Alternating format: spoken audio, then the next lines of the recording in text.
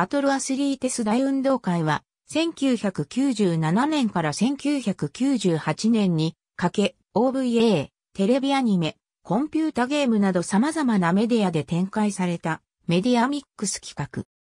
50世紀の未来を舞台として世界最高のスポーツエリートが出場するスポーツ大会大運動会を目指して努力する少女、神崎あかりとその友人たちを描いたスポコンストーリーである。SF の観点から見ると物語の冒頭での地球の地軸の直角点と宇宙への人類の進出の過程とその規模、人類の骨格や筋肉の物理的限界や法則を無視した大学衛星での訓練内容や大運動会の記録に関してはスペースオペラとも言える。A 題はバトルアスリートス大運動会。キャラクターの共通ユニフォームはミニ T シャツと競泳用水着調のハイレグレオタードになっている。物語は西暦4998年、主人公、神崎あかりが訓練校に在籍している時点から始まる。宇宙なでしことなった御堂智恵を母に持つ神崎あかりは自分の潜在能力を徐々に開花させつつ、世界最高のスポーツエリートが出場するスポーツ大会大運動会の出場を目指す。1997年5月25日から1998年6月25日にかけて全6巻が発売。大学衛星に入学したあかりの成長を描く。ビデオ版とレーザーディスク版と DVD 版がリリースされている。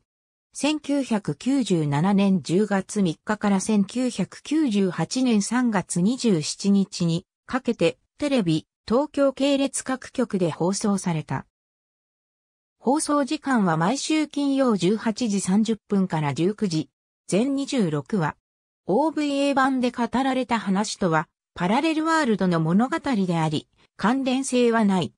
アメリカで販売された際の英語版タイトルは、バトルアスリートビクトリーで、英字タイトルのバトルアスリートスとは違って、中性名詞を使っている。ビデオ版とレーザーディスク版と DVD 版がリリースされている。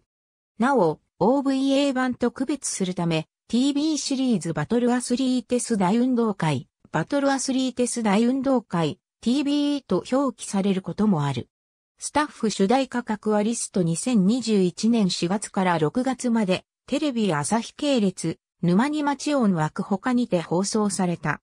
前作から100年後を舞台に開催されることになった。神、大運動会を中心とする物語が展開される。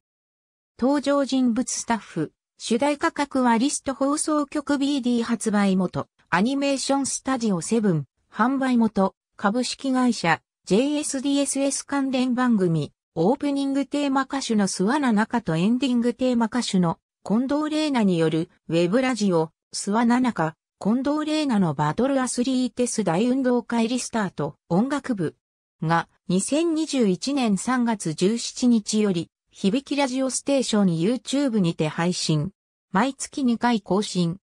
明星かなた役の諸星すみれとエヴァガレンシュタイン役の石川優によるウェブ番組バトルアスリーテス大運動会2個生でもリスタートが2021年4月17日よりニコニコ生放送にて配信。発売元はいずれもインクリメント P。パイオニアの系列会社だが、後にゲーム分野から撤退してカーナビソフトなどの開発をしている。なお、バトルアスリーテス大運動会とバトルアスリーテス大運動会 GTO の2作品は、後にメジャーウェーブシリーズとして、株式会社ハムスターより再発売された。2010年9月22日からは、ガンホオンラインエンターテイメントにより、PS 版大運動会オルタナティブが、プレイステーション3、プレイステーションポータブル用ソフトとして、ゲームアーカイブスにて600円で配信された。いずれもレーティングは0、B、バトルアスリーテス大運動会リスタートに関するカテゴリー。ありがとうございます。